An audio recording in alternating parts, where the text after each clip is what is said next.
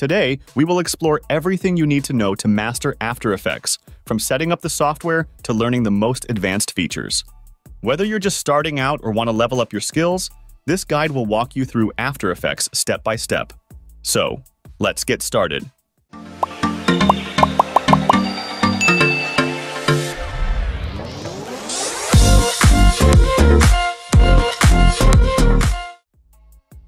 The first thing you need to know when working in After Effects is how to bring your footage or assets into the program. Whether it's a video clip, a photo, or even an audio file, getting these elements into the workspace is where everything begins. Here's a little shortcut that makes importing files into After Effects easier. First, ensure all your assets are organized in a folder on your computer. This isn't just a nice to have, it will save you a lot of time later on. When you're ready to import, you can drag that folder right into After Effects.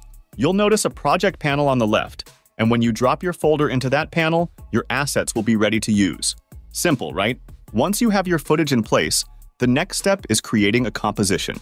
Think of a composition as your canvas, or the workspace where all your creative work happens.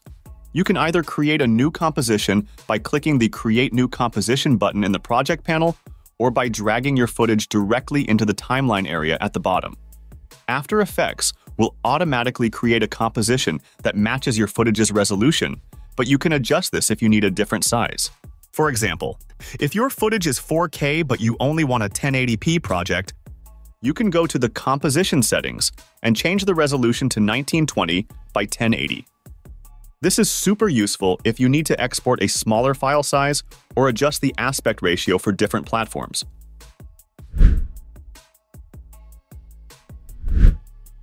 Now that you've got your composition set up, let's take a moment to get familiar with the user interface. On the left, you'll find the project bin where all your assets are stored. In the middle, you'll see the timeline, and that's where most of the action happens. Above that, you have the preview window where you can watch your composition in real time. One important concept to understand in After Effects is how layers work. If you've used Photoshop before, this will feel familiar. Imagine you're creating a sandwich. Whatever layer is on top in the timeline is the one that will show up on top in the composition. So, for example, if you want text to appear over a video, you need to make sure the text layer is above the video layer. To help you keep everything straight, you can rename your layers. Just right-click on the layer name in the timeline and choose Rename. This is helpful when you're working with many layers. Trust us, when you're very far into a project and have 30 layers, it can get confusing quickly.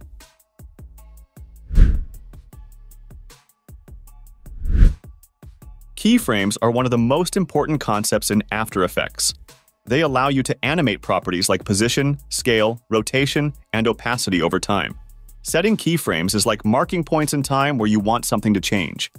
After Effects will automatically create the animation between those points. Let's say you want to move an image from the left side of the screen to the right. First, select your layer in the timeline, then press P on your keyboard to bring up the position property. Move the playhead to where you want the animation to start and click the stopwatch icon next to position. This sets your first keyframe. Now, move the playhead to a later point in time, 3 seconds in, then drag the image to the right side of the screen. After Effects will automatically create the animation for you, moving the image across the screen. This is the beauty of keyframes. You only need to set the beginning and the end, and After Effects takes care of the in-between. If you play it back, you'll see the image move smoothly across the screen.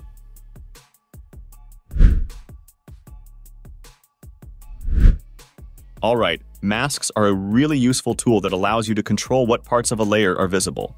Imagine you have a video of a person walking in front of a building, but you want to highlight just the person and blur the background. You can use a mask to isolate the person from the rest of the video. To create a mask, select the layer you want to work with and choose the pen tool from the toolbar at the top. Click around the area you want to isolate, and when you close the shape, you've created a mask. If you want to refine the mask, press M to bring up the mask properties, where you can feather the edges to make it look softer or adjust the opacity. Masks are helpful when you need to focus on a particular part of your video. For instance, if you're working on a product demo and want to blur out sensitive information on a screen, a mask is the easiest way to do that.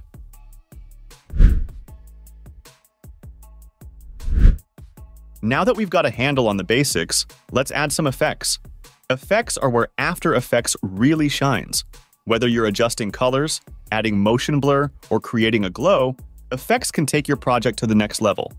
To apply an effect, go to the Effects and Presets panel on the right. You can search for any effect by name or just browse through the categories. For example, if you want to make your video look a bit more dramatic, you can apply the tint effect, which converts your footage to black and white. Simply drag the effect onto your layer and adjust the settings in the Effect Controls panel. Another popular effect is the Gaussian blur. This is great for softening backgrounds, giving your video a more professional look. Drag it onto your layer, increase the blur amount, and instantly your video looks more cinematic. Effects can be stacked too, so feel free to experiment with combining different ones. Just remember that less is often more. Overloading your footage with effects can make it look busy, so use them sparingly to enhance, not overwhelm.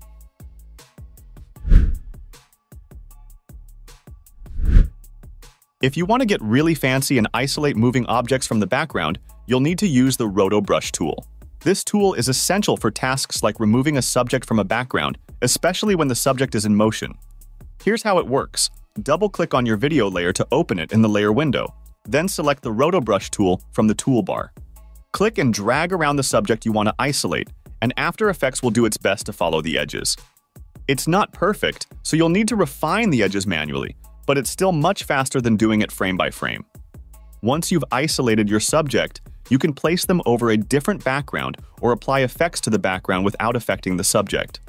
Rotoscoping is a more advanced technique, but once you get the hang of it, it opens up a world of possibilities for creative editing.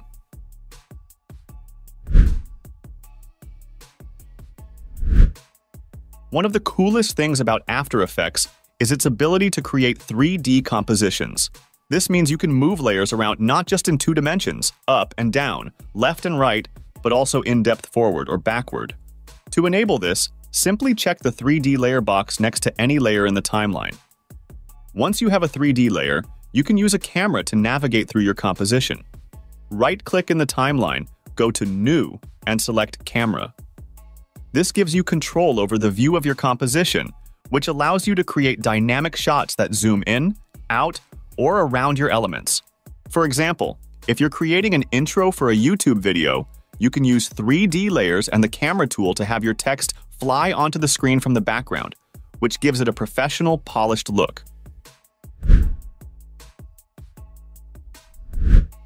Once your project is done, it's time to render. Rendering is the process of exporting your After Effects composition into a playable video format. This is where all your hard work comes together. To render, go to File, then Export, and choose Add to Render Queue.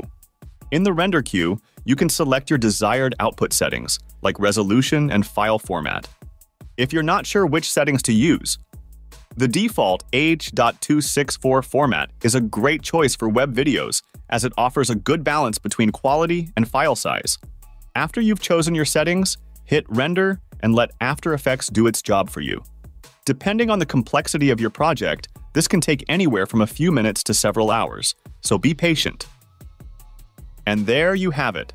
These are just a few steps to get you started with After Effects. As you continue to experiment, you'll find more advanced techniques, but mastering these basics will set a solid foundation. Thanks for joining us in this guide. See you in the next video.